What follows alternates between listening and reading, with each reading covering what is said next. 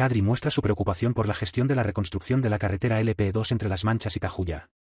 El diputado del Partido Popular por La Palma, Jacob Kadri, insta al consejero de Obras Públicas a explicar las actuaciones previstas en la LP2 tras la erupción volcánica. El Ayuntamiento de Tazacorte crea un servicio propio de protección civil local. David Ruiz Álvarez, concejal de Seguridad, subraya que desde el área se apuesta por la participación ciudadana y el voluntariado para mejorar la seguridad en el municipio.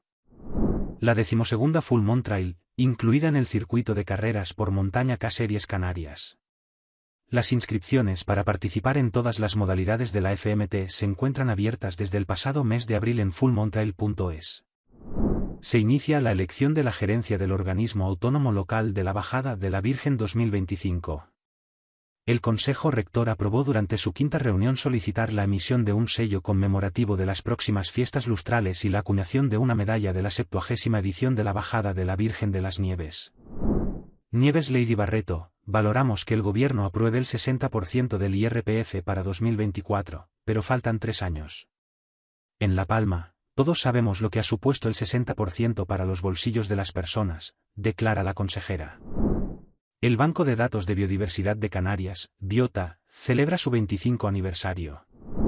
Las regiones ultraperiféricas se reúnen en La Palma para mejorar la metodología líder. Sergio Rodríguez incide en la importancia de cooperar con otros territorios para conseguir beneficios para la isla. Van Ostende, ustedes se cargan la estrategia para la justicia climática de Canarias.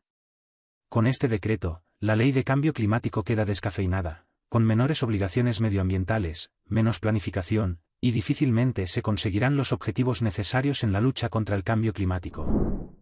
El PP pide mayor atención en el mantenimiento y limpieza de carreteras.